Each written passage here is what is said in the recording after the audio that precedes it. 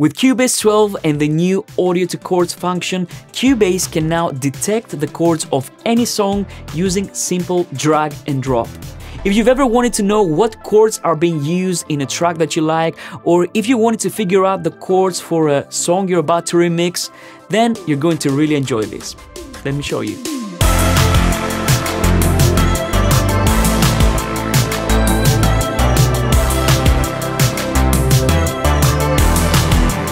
Using the audio to chords function is super simple.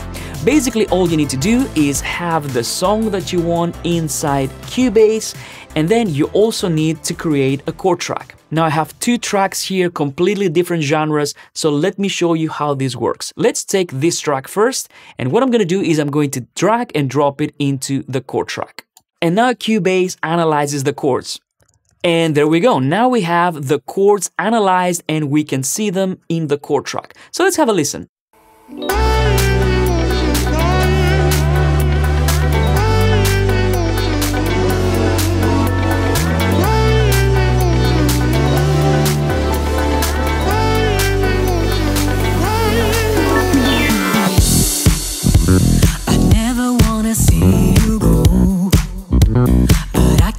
You take.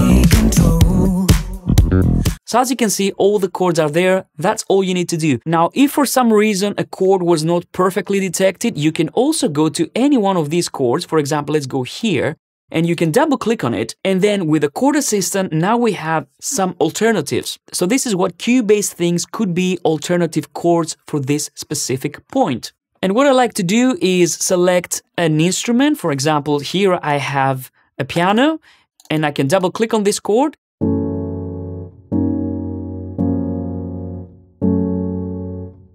and select the different alternatives.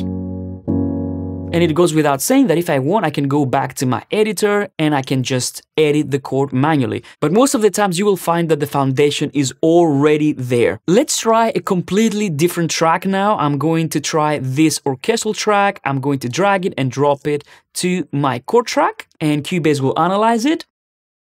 And now Cubase has detected the chords for us. Let's have a listen. Let's check out this part where there are some complex chord progressions.